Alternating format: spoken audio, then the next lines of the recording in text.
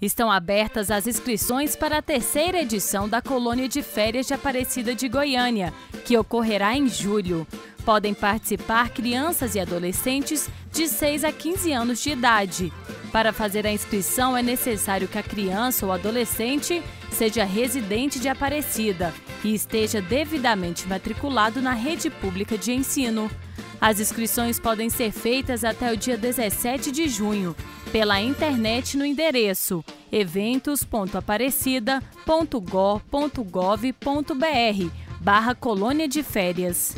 A confirmação ocorrerá de 18 a 20 de junho e a lista de convocação será disponibilizada dia 21 no site da Prefeitura aparecida.gov.br. A entrega da documentação exigida deve ser feita entre os dias 24 e 28 de junho, no Centro Olímpico, no setor Conde dos Arcos.